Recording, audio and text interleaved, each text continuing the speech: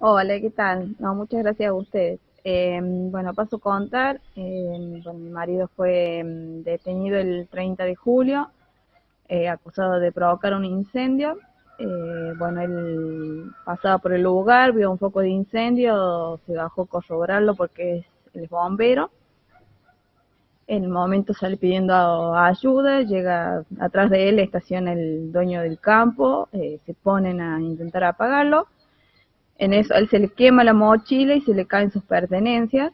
Eh, y bueno, eh, por supuesto, bueno, el quemarse la mochila sus pertenencias y le y salen luego de esto sale mi marido y el dueño del campo en busca de ayuda.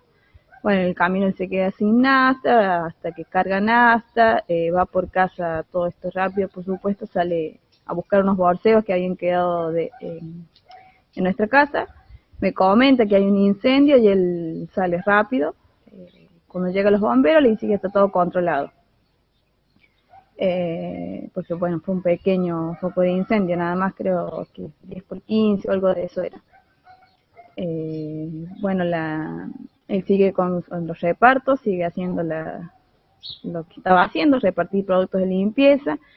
En el momento la, eh, le quitan la moto a la policía porque tenía andaba sin casco.